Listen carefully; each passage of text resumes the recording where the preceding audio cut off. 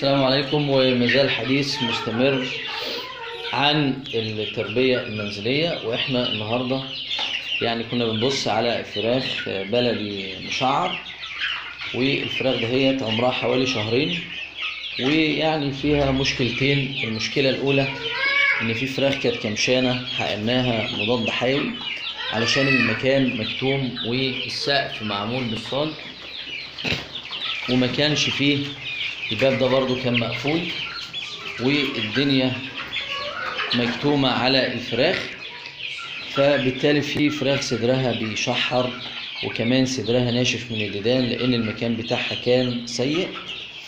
وكمان يا جماعة من الأفضل ما نبثش الأكل للفراخ بتاعتنا علشان البث دهوت مش كويس بيخلي الأكل غير مستصاغ للطيور.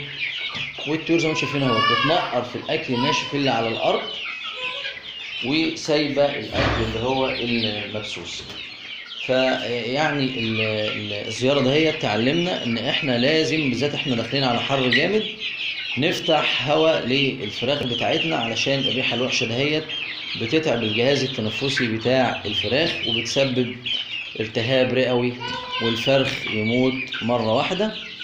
وكمان ابتداء من عمر 20 يوم نبدأ ننزل الفراخ دواء للديدان أي دواء بيطري للديدان أو بشري زي البندازول سترات الببرازين كل الحاجات دهيت كويسة علشان الديدان. وكمان الريحة الوحشة والكتمة بتعمل زي حاجة اسمها كوريزا نلاقي عين الفرخة عمالة تدمع أو يعني تورم أو تعمل تجبنات كل الحاجات دهيت بسبب الريحة الوحشة. فالتهوية أو دخول الهواء النقي الهواء يعني الهواء دخول الهواء لمكان التربية ده من عوامل نجاح التربية وبيخلي الفرخ بتاعنا بيكبر وما بيكونش فيه أي مشاكل. مع نظافة المكان خصوصا المكان عندنا يعني زي شايفين الأرضية عليها بصوا تفحر كده تطلع.